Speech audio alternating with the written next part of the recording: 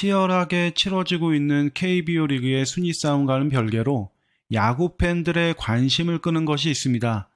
9월에 열리는 2024년 신인 드래프트입니다. 2024년 신인 드래프트는 마산 용마고 장현석과 장충고 황준서가 자타공인 빅2라고 평가를 받고 있는 가운데 해외 진출이라는 변수만 없다면 각각 하나와 두산에 지명받을 것이 100% 확실합니다. 이렇기 때문에 관심은 전체 세 번째 지명권을 행사하는 롯데자이언츠가 과연 누굴 선택할 것인가로 쏠리게 됩니다. 이번 시즌 초반만 하더라도 전체 3번의 후보로 정말 여러 선수들의 이름이 바뀌면서 치열한 혼전 양상이었는데요. 청룡기 전국 고교야구 선수권 대회에서 경기력이 조금씩 변화되면서 조금씩 윤곽이 드러나고 있는 중입니다. 롯데 팬들에게 이름이 가장 많이 오르내리는 선수가 강릉고의 조대현, 인천고의 김택연입니다.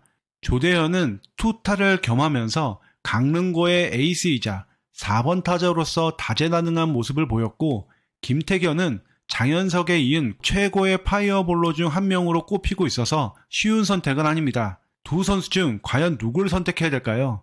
저는 김태견을 선택하는 것이 좋다고 생각합니다.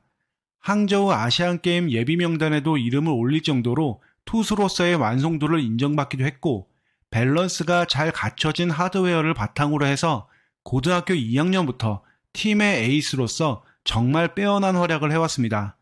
2022년과 2023년 평균 자책점이 각각 1.02와 1.40에 불과합니다. 압도적인 피칭을 해왔는데 오히려 독보적인 원탑이라고 주목받고 있는 장현석에 가려져 있는 숨은 보석이 아닐까 이렇게 생각할 정도입니다. 그리고 눈여겨봐야 되는 부분에 대해서 제가 색을 칠해놨는데요. 조금 이따가 말씀드리겠습니다. 김태견은 최고 153kg를 찍은 적이 있고 기본적으로 평속은 140km 후반을 형성하고 있습니다. 긴 이닝보다는 짧은 이닝에 집중한다면 평속을 150 이상으로 끌어올릴 가능성도 있습니다. 즉 선발이 아닌 불펜으로 쓴다면 훨씬 더 매력적인 선수가 될 수 있다는 이야기죠. 특히 김태견을 이야기할 때 등장하는 비교 대상은 LG의 고우석과 KT의 박영현입니다.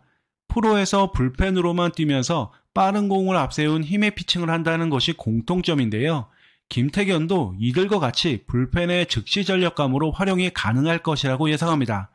그리고 앞서서 김태견의 기록에서 눈여겨봐야 된다고 제가 색을 칠해놨다는 부분이 있었죠. 2022년에는 52.2이닝을 던지는 동안에 탈삼진을 73개, 볼넷을 16개, 2023년에는 45이닝을 던지는 동안 탈삼진이 70개, 볼넷이 겨우 5개입니다.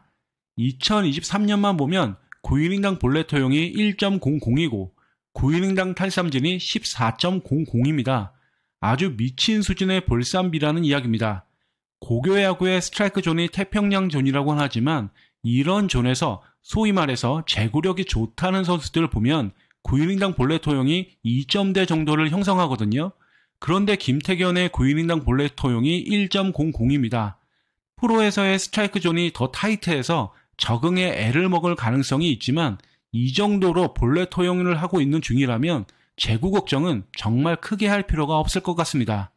이번에는 2023년 하나 이글스배 고교대학 올스타전에서 던진 김태견의 영상 클립입니다. 직구와 슬라이더는 안정감이 확실히 있다는 것을 확인할 수 있습니다. 충분히 전체 3번으로 선택할 만한 선수라고 볼 수 있죠. 만약 장현석과 황준석 둘 중 하나 혹은 둘 다 해외 진출하게 되면 상황은 달라지겠지만 이런 변수가 없는 한 롯데는 김태견을 선택했으면 좋겠습니다. 여러분들은 어떻게 생각하시나요? 이상으로 방송 마칩니다. 감사합니다.